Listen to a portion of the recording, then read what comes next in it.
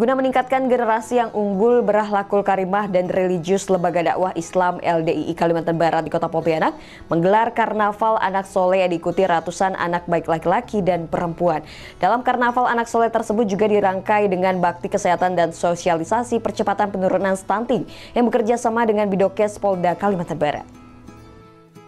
Menyiapkan generasi unggul menuju Indonesia Emas 2045 Lembaga Dakwah Islam Indonesia Kalimantan Barat bersama Bidokes Polda Kalimantan Barat menggelar Karnaval Anak Soleh dan Bakti Kesehatan dan Sosialisasi Cegah Stunting sekaligus menyerahkan bantuan 30 paket pendidikan pada rangkaian acara Karnaval Anak Soleh di Pondok Pesantren Al Mukorobun di Jalan Swiknyuk, Kecamatan Pontianak Kota.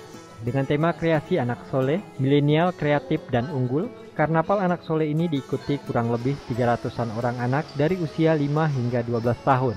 Dalam Karnaval Anak Soleh ini, berbagai lomba juga digelar mulai dari lomba kaligrafi, fashion show, mewarnai, dan lain sebagainya. Tujuan Tahunan Pas untuk tahun 2020 ini kita men ingin meningkatkan kualitas gener generasi Pontianak dan meningkatkan kualitas generasi yang untuk tujuan menjadi profesional dan religius. Harapannya Harapannya ya uh, agar generasi-generasi Pontianak LDI di Pontianak bisa menjadi generasi yang religius, profesional, bisa berakhlakul karimah, bisa selalu menanamkan budaya-budaya Indonesia itu sendiri. Sementara itu menurut Kabid Dokes Polda Kalimantan Barat, Komisaris Besar Polisi Walujo Nugroho mengatakan TNI Polri saat pandemi mampu membantu pemerintah dalam mengatasi penyebaran COVID-19.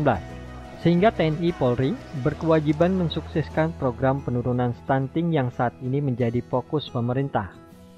Nah, TNI Polri uh, diminta oleh pemerintah uh, untuk uh, membantu pemerintah dalam rangka menurunkan angka stunting kebetulan memang uh, di Kalimantan Barat ini angka stunting uh, cukup tinggi, kurang lebih 17 persen.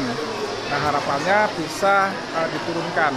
Terkhusus uh, dari Polri sendiri uh, untuk bidang kedokteran dan kesehatan Polda Kalbar juga mendapatkan uh, perintah dari Pusdokes Polri agar membantu pemerintah di dalam menurunkan stunting.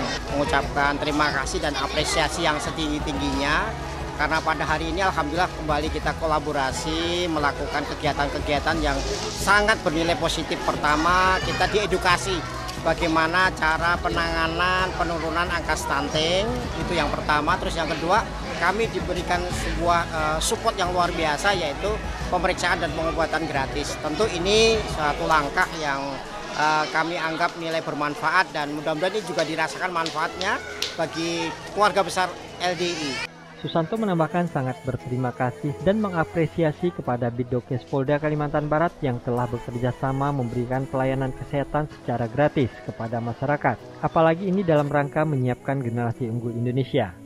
Dari Pontianak, Rian Wijaya iNews melaporkan. Klik like jika menyukai video ini dan subscribe untuk mendapatkan berita terbaru dari LDII TV.